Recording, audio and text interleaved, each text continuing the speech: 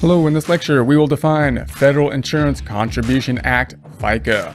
According to Fundamental Accounting Principles, Wild 22nd edition, the definition of Federal Insurance Contribution Act, FICA, is taxes assessed on both employers and employees' Social Security and Medicare programs. When we're talking about FICA, we're not talking about just the Social Security, we're talking about both Social Security and Medicare. These are generally thought of as payroll taxes, taxes that are going to be withheld from the employee pay, at least half of them, and the other half of them will be paid by the employer based on the employee's wages. So we're going to have half of the Social Security and Medicare that the employer is going to have to take out of the actual paycheck, out of the net pay, withholding that money and then paying it to the government. Then they're also going to have to basically match that and put in the, the other half of it from the actual employer that's not coming out of the employee wages. The rate for these taxes are generally going to be more of a flat tax rate, so we're not talking about a progressive tax rate. It's going to be more of a flat tax rate.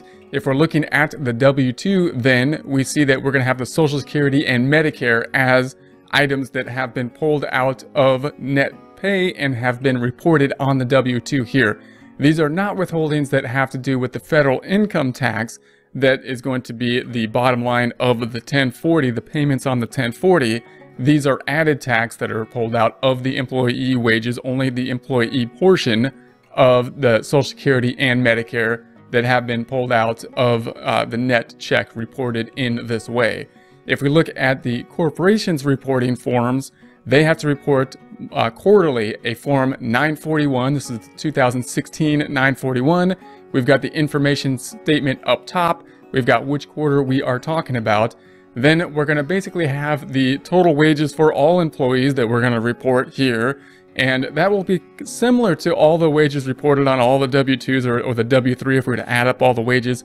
But it's going to be a bit different when we get down to the Social Security and Medicare because there's some bit differences. There could be a cap in terms of Social Security. So we'll have a little bit different in terms of total wages for that reason. But once we have that number, we're going to have more of a flat tax rate. So we're going to take that number, multiply it times a flat tax rate to give us the Social Security taxes, the Medicare taxes, and then we're also going to have to add up all the withholdings we made for federal income tax.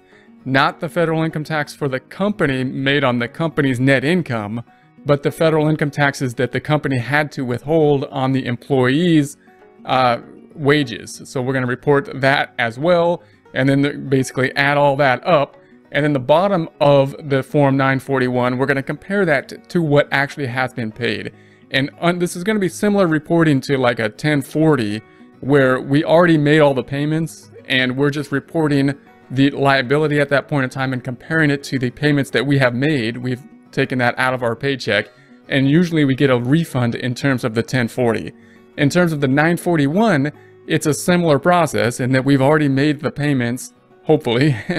we're supposed to have already made the payments, and now we're just comparing that to the actual liability.